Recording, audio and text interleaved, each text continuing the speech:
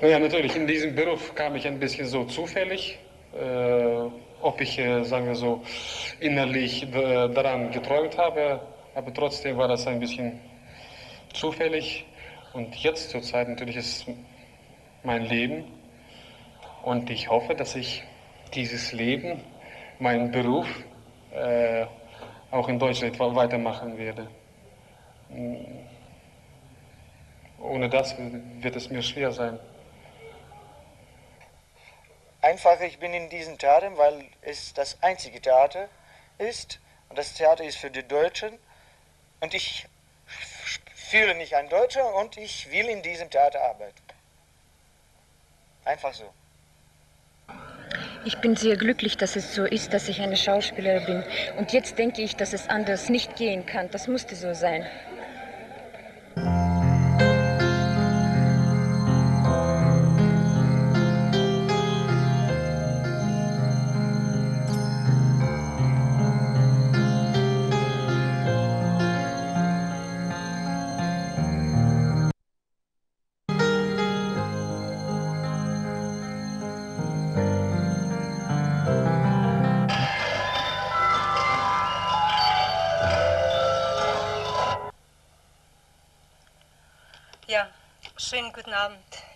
Zuschauer.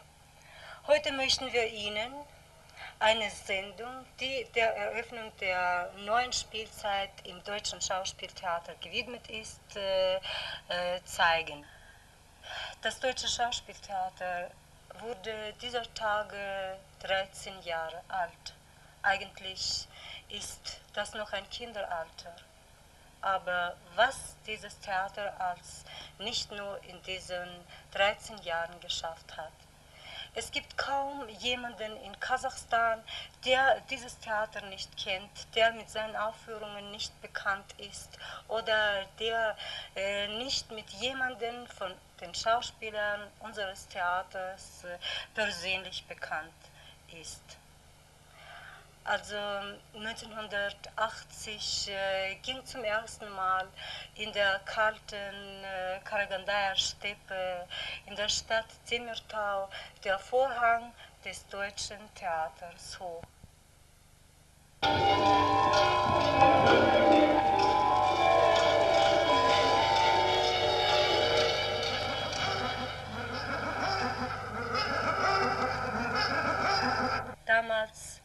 Waren wir alle noch sehr klein. Also wir waren noch ganz kleine Säuglinge und äh, genau äh, so klein wir waren, so, war, äh, so nannte sich auch unsere erste Aufführung, die ersten. Ja, wir waren in den Nachkriegsjahren die ersten. Und Alexander Reimigen, als er sein erstes Stück für das deutsche Schauspielhaus äh, geschrieben hat, nannte dieses Stück auch die Ersten. Heute sind wir immer noch die Ersten. Es ist wirklich traurig, dass äh, in der Laufe von diesen 13 Jahren kein zweites Theater hier in den GUS-Ländern oder einfach in der ehemaligen Sowjetunion gegründet worden ist. Olga,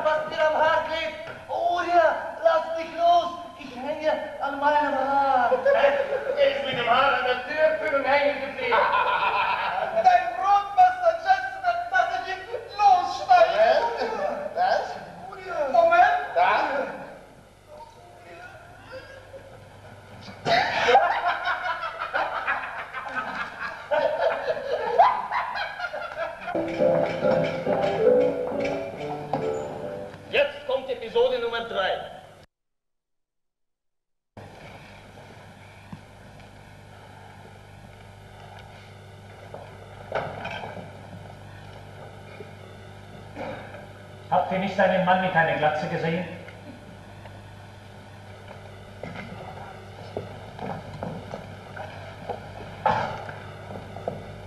Nein!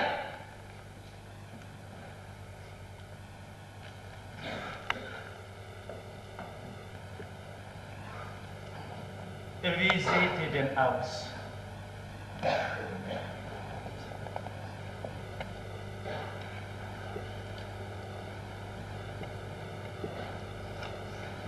Einmal eure Helme ab.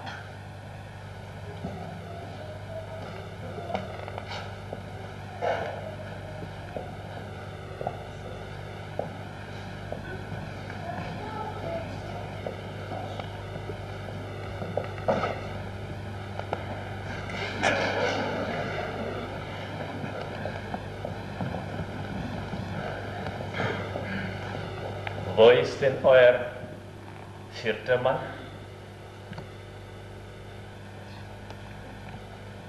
Ach, Sergeant. Er verrichtet seinen Notdurft.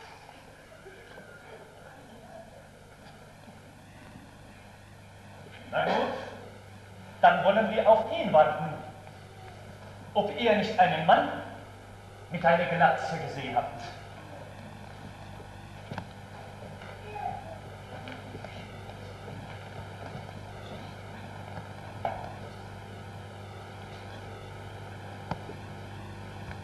Lange Notdurft. Jawohl. Vielleicht ist er einen anderen Weg gegangen, ne?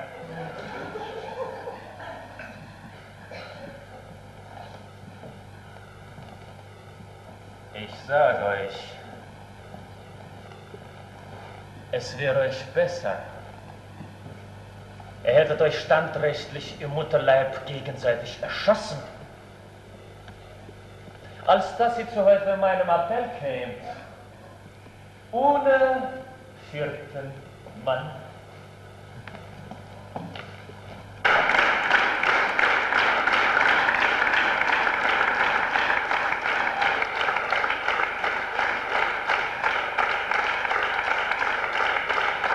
Zugvögel sind wir alle, Schauspieler, Vagabunden. Es kann unser Herz nicht zerfallen, es kann nur bluten von Wunden.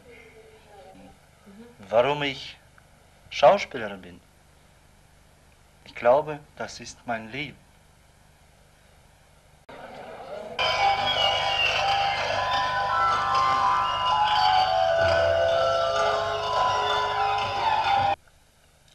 Nach der erholsamen und recht belebenden Busfahrt durch die Stadt und der anschließenden Medeo-Exkursion lud das Theater die Zuschauer zu ihrem naturalistischen Drama Magic Afternoon, der Wundertag, nach Wolfgang Bauer ein. Es wurde auf der kleinen Bühne im Ballettsaal bei dem fast hautnahen Kontakt mit den Zuschauern, die im Halbkreise umhersaßen, aufgeführt. Dieses moderne Drama, dargestellt von äh, Lili Hense, Viktor Brestel, Viktoria Griffenstein und Georg Nonnemacher, und zwar in einer ganz anderen Manier, als unsere ständigen Zuschauer es gewohnt äh, sind, wirkte dennoch beeindruckend. Valentina Teich schrieb.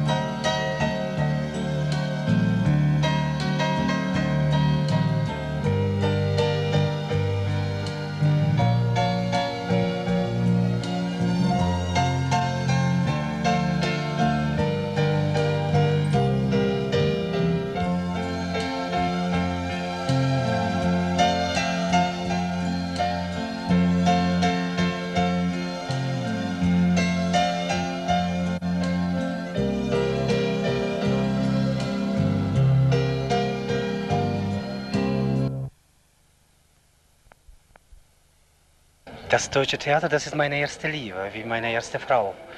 Und die erste Liebe ist immer die erste. Äh, warum bin ich Schauspieler geworden?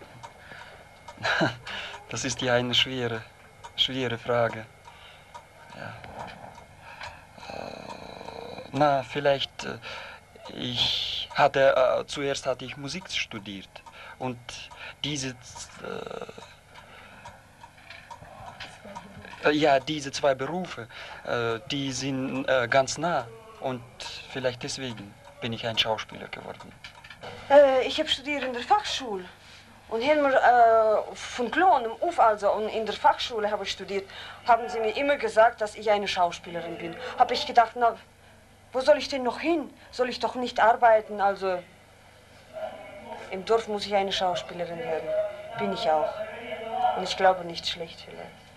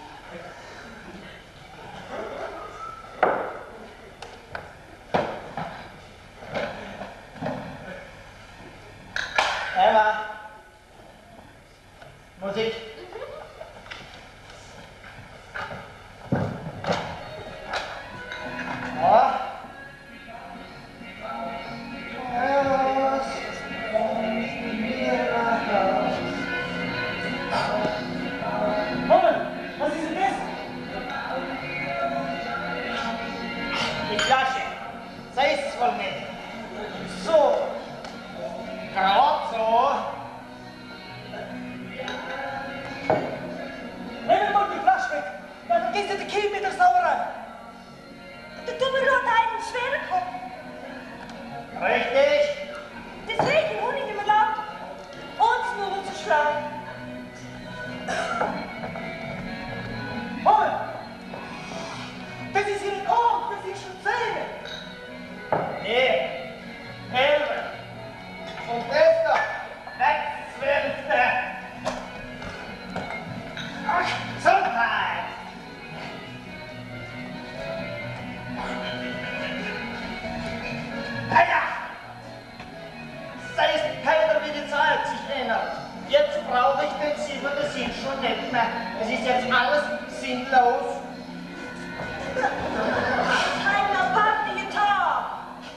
Ja, wir feiern halt unsere Ohnigkeit.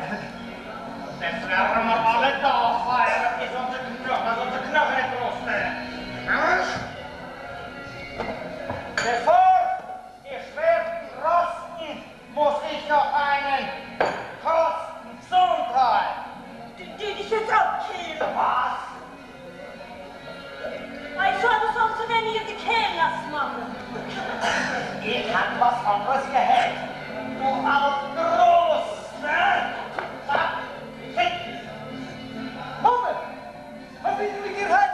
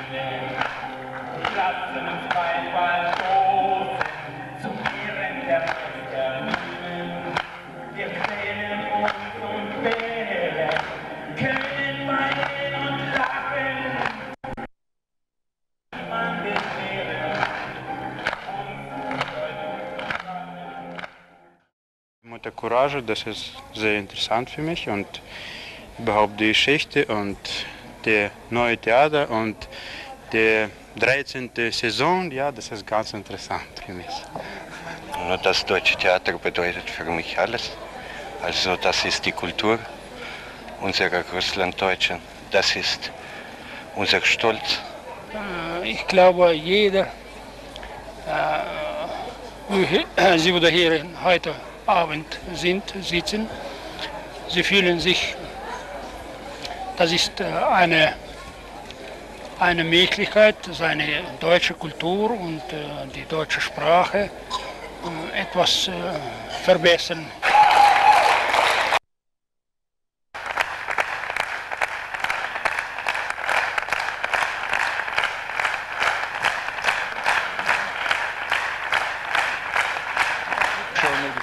die die Deutsch verstehen, die unseres Theater lieben. Die liebe ich auch. Danke. Mir gefallen die Rolle, die ich echt richtig geschafft habe. Diese, diese Rolle, die, Rolle, die ich je gespielt habe. Und deshalb gefällt mir hm, sie am besten. Mir gefällt meine Rolle, die ich heute Abend spielen werde. Äh, aus dem Stück Mutter Courage und ihre Kinder. Meine Rolle ist der Eilif. Warum? Weil ich mit ihm ein bisschen ähnlich bin.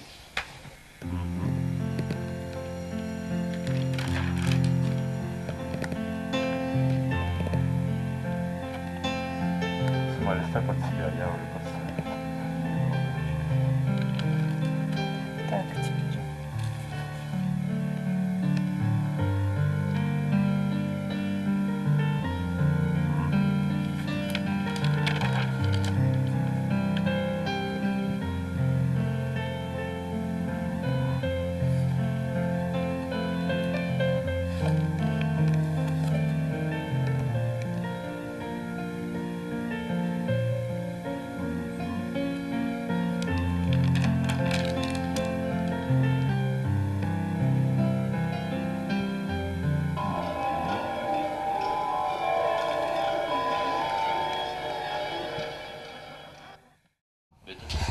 Von der Zahl 13 habe ich keine Angst.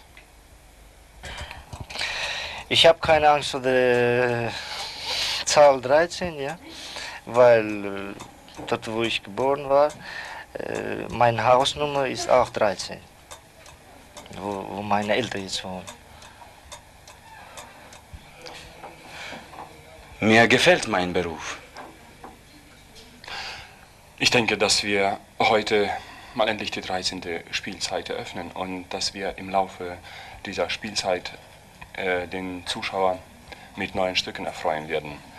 Und hoffentlich äh, werden wir mh, die Kammerspiele eröffnen, wo wir dann endlich mal zu Hause sein werden und äh, den Zuschauer endlich mal also so empfangen, wie wir es wollen und äh, auch die Zuschauer so äh, ganz innig, ganz herzlich willkommen heißen in diesem neuen Gebäude. Die deutsch sprechende Publikumsmehrheit es verlangt, gibt es jetzt schon Aufführungen in russischer Sprache.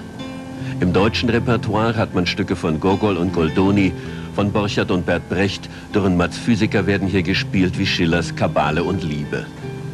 Doch die deutsche Hochsprache ist auch